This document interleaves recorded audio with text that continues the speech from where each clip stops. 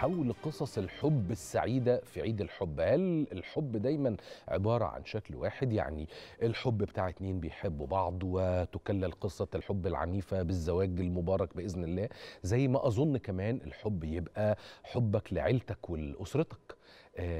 حبك لأمك وأبوك وإخواتك حبك للجيران حبك لأصدقاء العمر وهكذا. يعني أنا من الناس الحقيقة اللي تحب إنها تشوف عيد الحب ده هو حالة واسعة عميقة من كلمة حب. طيب وهل سمعتم عن بيتنا؟ صفحة بيتنا موجودة على ال social media صفحة لذيذة جدا. عاملها اتنين لزاز جدا خالص جورج وماريز.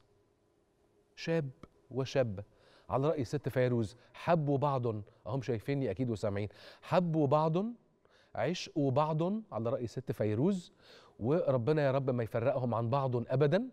ف وعملوا صفحة وكأنهم بيسجلوا فيها تجربتهم اللي نتمنى من قلبي إنها تفضل مستمرة بكل الحب. يستمر هذا الوهج دائما. يا جورج ويا ماريز منورنا.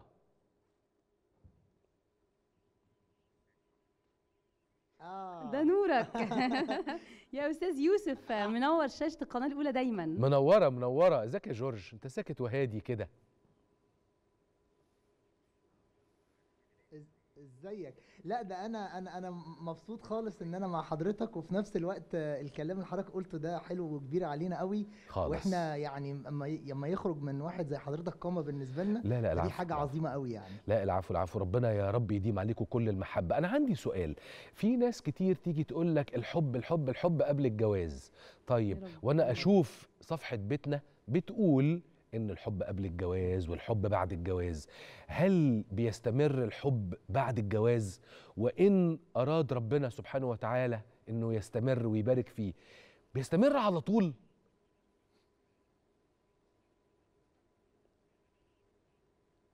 okay. سؤال سؤال جامد قوي. طيب يعني أنا هدي مريض ك ك ك ladies first يعني تبدأ بالإجابة وأنا هكمل. يعني. جورج قول أنت يا بابا قول. طيب آه، يعني لا ladies first هو دايما بيحب يعمل كده يعني بس جورج جميل يعني عشان هو قلبه حلو ما شاء ابيض الله يعني. ما شاء الله. آه، آه، بص يا أستاذ يوسف. ربنا يخليك شكرا. عايزة أقول لك بخصوص الموضوع ده إنه الحب ده حاجة موجودة طول الوقت حوالينا مش بس ما بين المتجوزين يعني. هي حاجة أصلا ربنا اداها لنا يعني هو ادانا الحب وهو إحنا بن- بنتولد ربنا ادانا الحب أصلا في قلبنا. وبناء عليه إحنا كلنا أصلا جوانا حب. إحنا بقى بندين مين وبنوزعه إزاي وإزاي بنقدر ننشره لكل الناس؟ هي دي أهم حاجة في الموضوع. موجود قبل الجواز وبعد الجواز وبعد الولاد و... وفي مفارقة في الموضوع ده كانت لطيفة قوي إن إحنا لما اتجوزنا من 14 سنة قالوا لنا يعني أنتوا شهر العسل وخلاص. يعني أيوة. مش هتفضلوا سعداء كده وبتحبوا بعض. هم بيقولوا شهر العسل بعد كده يقول لك أول سنة بعد كده يقولوا آه، هو آه، ست ست أول ست سنين وبعد كده هت- هتبعدوا بس اللي أنا عايز أقوله لحضرتك إنه فكرة الحب بعد الجواز هي ضربات القلب حتى لما بتترسم في المستشفى بتترسم فوق وتحت وفوق وتحت. فالحب هو موجود بس الظروف أوقات ممكن تخلي إن في بعض المشاكل والحاجات دي اللي ممكن تحصل لأي بيت. لكن المهم ال- ال- الاتنين دول اللي هم آه، قرروا يشاركوا بعض الحياة آه، هم قادرين يكون عندهم الفكر إن هم يقعدوا يتكلموا ويتفاهموا ويحلوا مشاكلهم ولا كل واحد بيقول أنا ويلا نفسي ومش قادر يسمع الطرف التاني؟ الحب بيكمل أو ما بيكملش عن طريق إن الناس بتفهم وتعرف بعض. لأنه إحنا بنتغير بعد الجواز فممكن آه، آه، اللي أنا عرفتها النهارده هي عندها تغيرات. أنا لازم ابقى متابع تغيراتها وافهم هي بتفكر في إيه واتغيرت في إيه. هو ده ال- الحب بيكمل بطريقة التفاهم يعني. صح صح. شوف هو الحب ده أصله حاجة في فطرتنا ربنا سبحانه وتعالى الله محبة. فالحب ده موجود مزروع جوانا. طيب آه زي ما يجمعكم الحب بتجمعكم المزيكا. ما خفتوش المزيكا دي تشغلكوا أو تشغل كل واحد عن أيوة. محبة التاني ونبعد شوية وده ممكن يجيله حاجة وده يجيله حاجة والوقت ما يبقاش جميعنا طول الوقت أو طول ال... طول الوقت برضه الوقت جميعنا طول الوقت. جملة غل... جملة مش مش بليغة يعني.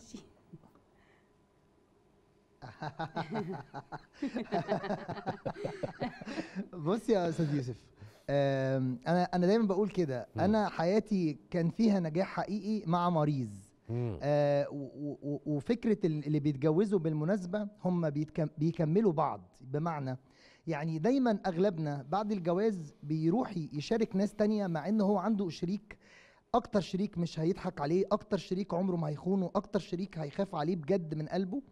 فالنجاح ما بيننا ارتبط بإن إحنا شركاء حقيقيين. فإحنا المزيكا سوا. مشاريعنا سوا حياتنا سوا حتى بيتنا سوا كل الأزمات سوا كل الفرح سوا فاحنا سوا.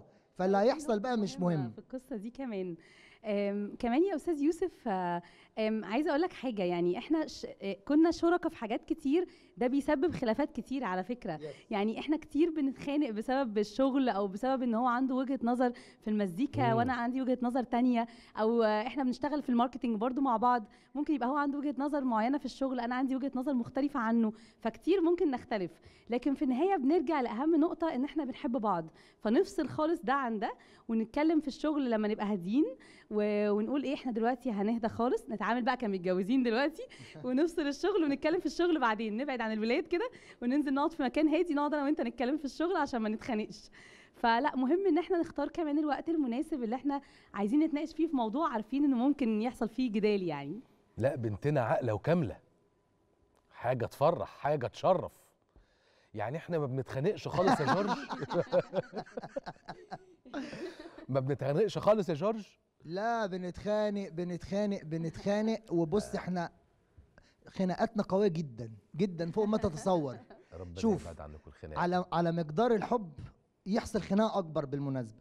مم. بس بس الخناق ليه؟ هو ده السؤال. يعني أنا بكتشف إن لما بنتخانق سوا إحنا بنتخانق عشان بنخاف على بعض في حاجة معينة. فهي ممكن تكون شايفة حاجة عندي عايزة تقولها لي هتقولها لي وأنا كراجل شرقي أوقات برضو بتقفل في دماغي كصعيدي أيوه. أنت إزاي تقولي لي الموضوع الفلاني؟ بعد شوية لما بسمعها وبفهم هي بتقول إيه بكتشف إن الله ده إحنا بنتخانق عشان مصلحة بعض. ما في اتنين يتخانقوا عشان مصلحة بعض واتنين يتخانقوا عشان مش مصلحة بعض عشان كل واحد بيتخانق عشان مصلحته الشخصية. صح. لكن- لا وبعدين كمان إحنا كنا بنتخانق كل الخناقات الكبيرة قوي قبل الجواز. يعني إحنا السنة اللي في الخطوبة دي اتخانقنا كل يوم كنا بنتخانق. لغاية بعد الجواز نشكر ربنا إن الخناقات قلت كتير آه وبقت على حاجات اللي هي حاجات جوه الشغل. يعني إحنا نشكر ربنا ما بنتخانقش دلوقتي على حاجات شخصية. يعني مش حاجات في العلاقة مش حاجات ليها علاقة باولادنا خمسة وخميسة. النهارده الخميس. الساعة خمسة. لكن خناقاتنا كلها ليها علاقة بالشغل أكتر. يعني حاجات بنختلف فيها ليها علاقة بالشغل بس مش بينا يعني. إحنا شخصيا لا نشكر ربنا. الحياة ماشية حلو يعني. طب أنا عندي فاضل لي حاجتين بقى عايز أسأل عليهم أو حاجة وطلب. السؤال الأولاني هو إنه يعني أؤمر. آه، الأمر لله ربنا يخليك يا أمير الامراء أنت. يعني مثلا الستات أصلا هم معروفين كده إن هم باطنيات ما بيقولوش. جميل. تزعل وتشيل في نفسها وما تقولش. مم. ده بيحصل مع مريض وإذا كان بيحصل بتتعامل مع ده إزاي؟ تمام. شوف مريض آه مش ده خالص بقى. مريض عكس ده تماما. يعني أنا ربنا رزقني الحمد لله. بإنسانة اللي في قلبها على لسانها وش يعني ما بتعرفش لا تخبي الحمد لله جدا لا تعرف تخبي ولا تعرف تعمل الحاجات دي. لكن لما بيحصل يمكن أوقات يحصل في إيه؟ في إنها تسيبني مثلا يوم عيد مثلا مرة عيد جوازنا أنا نسيت إن هو كان عيد جوازنا. نسيت.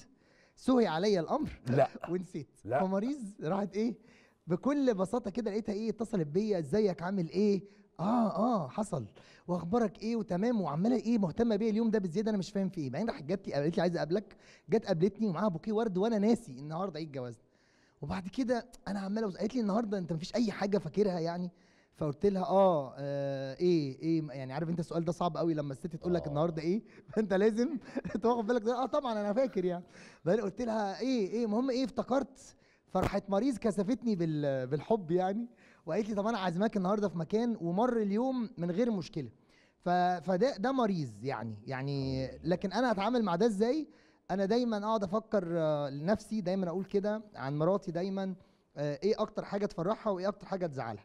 وبسألها أوقات الاسئله دي عشان ما اكونش في يوم من الأيام جاي عليها وأضايقها بس لأنه أنا لما بتضايق من مريض أو مريض ضايق مني يومنا بيبقى وحش جدا. وده تقريبا كل المتجوزين كده عشان برضو إيه إحنا أوقات بنلاقي ناس ماشية في الشارع بتكلم نفسها خلي بالك. ليه بتكلم نفسها؟ لأنهم عندهم مشاكل الست اللي تنجد على جوزها والراجل اللي ينجد على مراته هم بيبوظوا يوم بعض من أوله لآخره.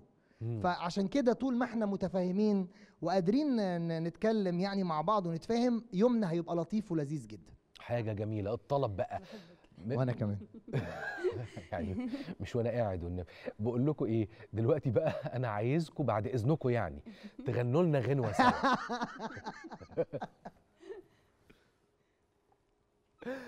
أوه واو. نغني أغنية سوا. سوا.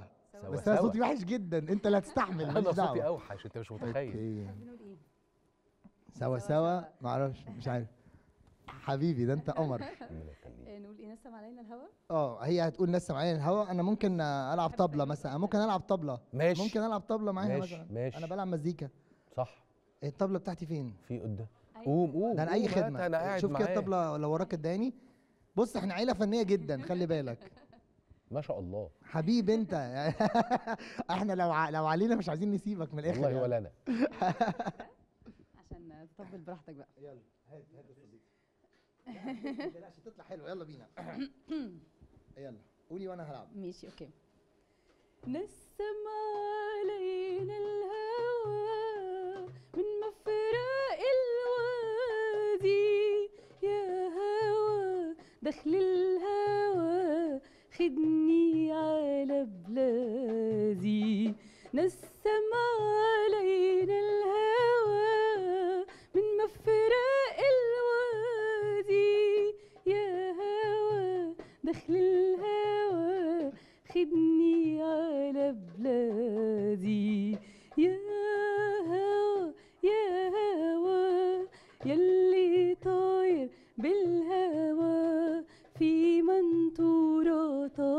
وصورة خدني لعين دنيا. هوى كفاية بقى عشان وقت البرنامج. أنا عايز أنا أقعد مش عايز عايز أقول حاجة بس سريعة إذا سمحتوا لي يعني. اتفضل، اتفضل. عايز أقول حبيبي عايز أقول حاجة إذا سمحتوا لي آه إن أنا طبعا بحب مراتي جدا. ده حاجة أنتوا أكيد يعني مش محتاج أقولها بس أنا عايز أقول اتنين بحبهم قوي. ميخائيل ابني وفيولا عشان هم أكيد هيسمعوا ده وفي يوم من الأيام. هم دول دخلهم من أحلى الحاجات اللي حصلت شاور لهم. يجوا وبنتمنى لما يكبروا يكونوا دايما حاجة كبيرة يعني. تعالي يا فيولا تعالي تعالي. بالراحة بالراحة حبيبتي بالراحة. تعالي. أهو دي فيولا. خبر. يا خبر. فيولا؟ شايفينها كده؟ يا دين ده. ميخائيل يا خلاص. فحبيت بس يكونوا مشاركينا اللحظة دي عشان إحنا الأسرة كلها يعني. فيولا.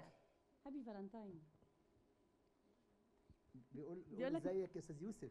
إزاي يا أستاذ يوسف؟ مكسوف. إزيك يا حبيب يوسف؟ قولي له إزيك يا أستاذ يوسف. لا أستاذ يوسف. هسايقة أنت. يا خلاص يا خرام يا ناس. عشرومية بوسة لميخائيل وفيولا والنبي. ربنا يا رب يديم عليكم المحبة ويحوطكم بالمحبة وبالبركة ليوم الدين. اللهم آمين. ما شاء الله ما شاء الله ما شاء الله. عيلة مصرية عادية زينا وزي أهالينا. ما الحياة حلوة أهو. أمال الناس بتطلع إشاعات على المتجوزين ليه؟ أنا مش قادر أفهم. شكرا جدا جورج شكرا جدا ماريز شكرا جدا ميخائيل شكرا جدا فيولا. كل الشكر ليكم.